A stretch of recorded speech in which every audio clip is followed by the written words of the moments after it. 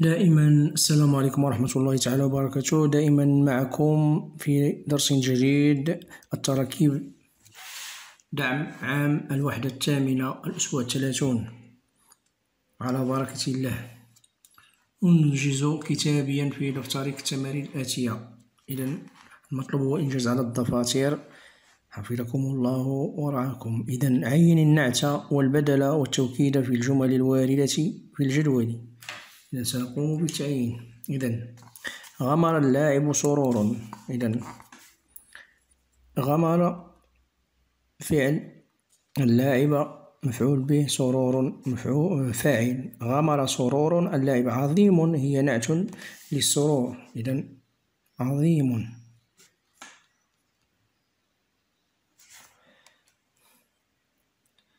عظيم. أقبل الطبيب نفسه. الطبيب نفسه توكيد نفسه. انشغل الطبيب والممرض كلاهما. كلاهما كذلك توكيد. سافرت إلى البادية والتقيت سكانها الطيبة أخلاقهم نعت نعت سببي. طيبة. أخلاقهم إذن البدل ليس لدينا بدل. ليس لنا بدل. بدل مطابق لا يوجد بدل مطابق. غمر اللاعب ربيبون هذا نعت إذن أسميم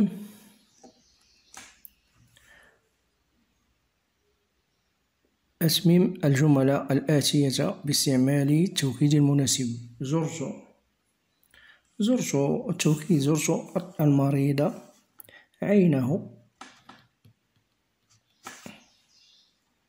شارك التلاميذ كلهم مثلا كلهم جميعهم نفسهم.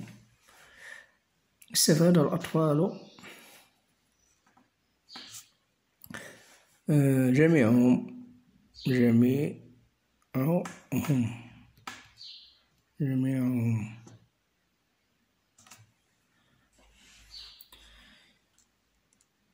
ممكن ممكن تستعملوا توكيد لفظي نقولوا زرت المريض المريضة أو شارك التلاميذ التلاميذ التلاميذ التلاميذ استفاد الأطفال الأطفال إحنا هنا استعملنا توكيد معنوي. ممكن أن تستبدلوه بتوكيد لفظي وتقول زرت المريض. المريضة شارك التلاميذ التلاميذ في مجلة القسم. استفاد الأطفال الأطفال من حملتي. التلقيح أو تعيد الجملة كاملة تقول استفاد الأطفال استفاد الأطفال من حملة التلقيح. إذا يأتي بثلاث جمل تتضمن الأولى بدلا مطابقا والثانية بدلا بعض من الكل والثالثة بدل الشمال. إذا ها هو الآية إذا البدل بدل مطابق عاد الجندي أحمد من ساحة الحرب. نعم. بدل بعض من الكل أعجبتني الحديقة أزهارها. سمعت الإمام خطبته. بدل اشتمال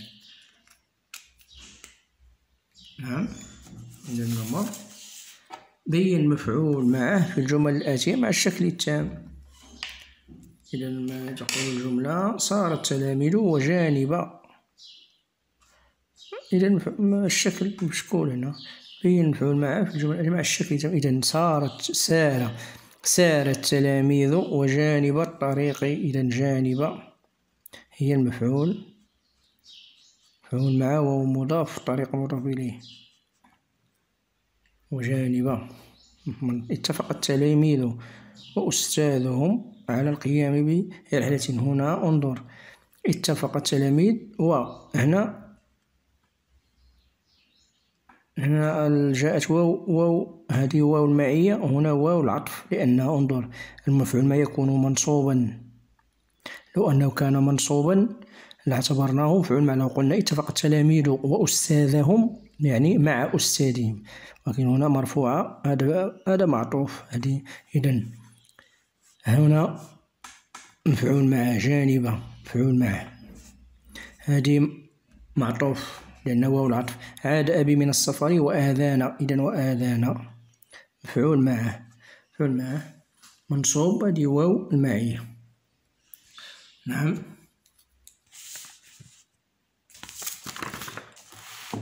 ميز.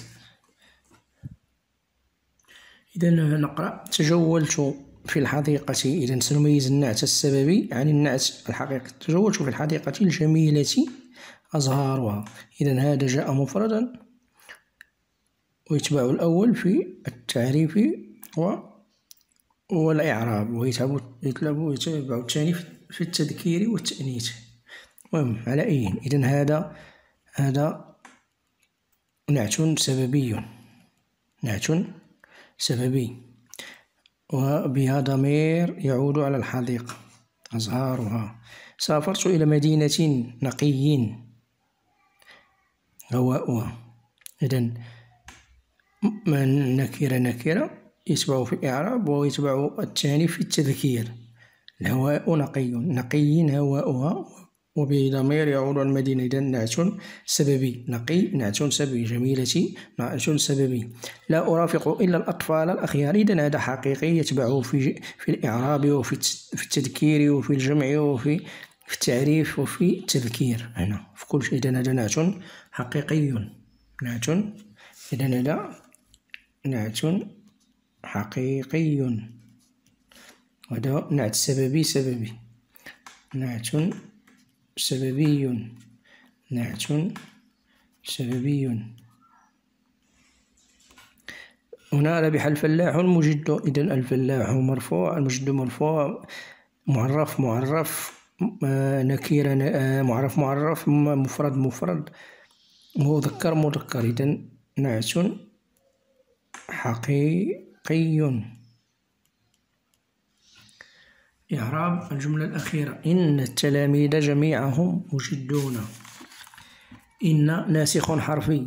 يدخل على الجملة الإسمية فينصب الاسم. المبتدأ.